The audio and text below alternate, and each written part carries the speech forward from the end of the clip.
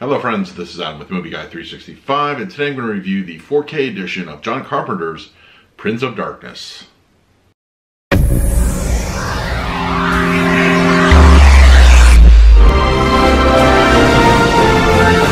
you're new to the channel, please hit the like button, subscribe, hit that bell notification. I put out videos every single day. You can also find me over Twitter and Instagram at MovieGuy365, as well as over at the Disney Magic Hour podcast. I will leave a link for that in the description. Okay, Prince of Darkness in 4K is here. John Carpenter's film, one of I feel one of his more underrated kind of movies. And I'm, the reason I'm reviewing this twofold is because one, I'm a huge John Carpenter fan, and also this was a generous gift from a, a wonderful subscriber, Michael from Germany. Thank you so much again. Uh, I'm a huge Carpenter fan, and I just and I knew that the uh, the UK and the other international markets did receive a few films from uh, the John Carpenter Library in the 4K format. We have not received here in the states. Uh, a couple others, you know, like The Fog and Escape from New York, both got 4K releases. I hope to put them in my library one day. But in the meantime, we have Prince of Darkness. And as I said at the beginning, it's pretty much, I feel, one of his more underrated films. It's very creepy. It's very kind of an atmospheric horror film. And I think it still works. It's it's not, I don't feel terribly dated.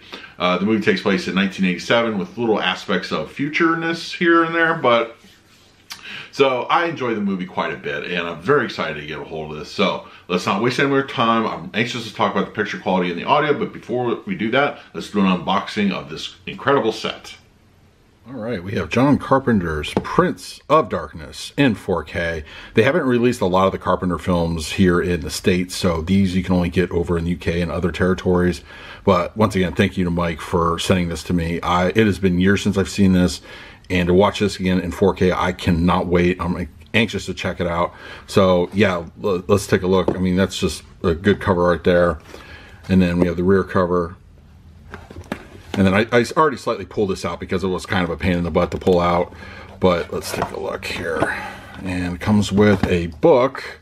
All right, nice. Really digging that. That's pretty cool.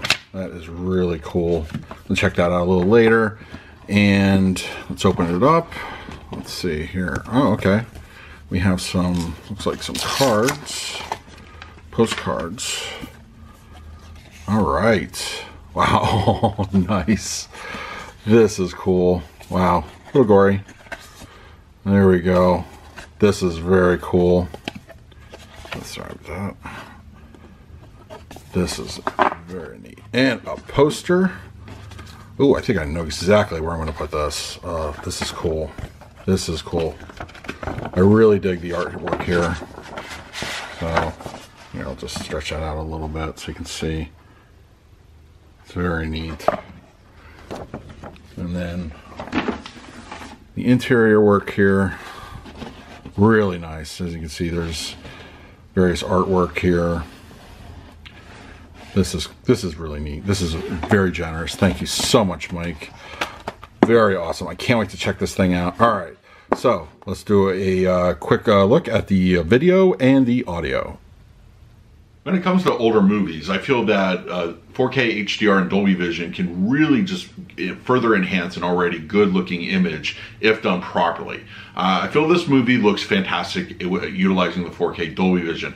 Now, you're not going to get a whole lot of color pop as far as that goes in that aspect. It does pop in from here and there. The green, uh, the green force energy uh, definitely has a little bit of a benefit from that, and uh, you know other little aspects here and there. But this is a very detail-oriented kind of Dolby Vision, as well as black levels. I think are the both of those aspects are the highlights of this disc.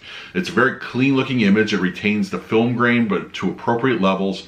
Uh, even those, even to those people that aren't like fans of it, I, I don't think you really have anything to complain about here. I think overall it's a really good disc. It, it maintains the mood and atmosphere of that of that uh, setting, and it's just an overall fantastic looking image. No complaints whatsoever in that in that regard. I think several, you know, a couple. There's a couple scenes uh, at nighttime, of course, where it really utilizes that black level. And there's that one scene where uh, one of the characters comes in and and there's like kind of like a black lit area there and kind of feel like something's hiding behind there and it's a nice deep level. It's uh, those things are the things i really appreciate when it comes to their picture quality. It's it's a good film a good film. I mean it was uh, it was uh, i believe released in the um, uh, 87, 88, and I think it just it looks really good overall as far as that goes.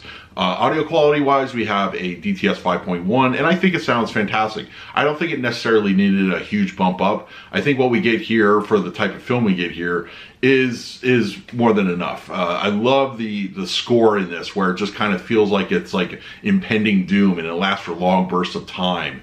And it's but it doesn't overpower the audio. I think it really maintains a nice little balance. Uh, surround sound effects aren't overly plentiful. There's a couple here and there, nothing that's overly aggressive, but I think it just has to do with the time period uh, and just the overall feel of the film. It doesn't really warrant a whole lot of surround sound effect. It's there in doses, but it's not nothing that's going to overpower your audio system.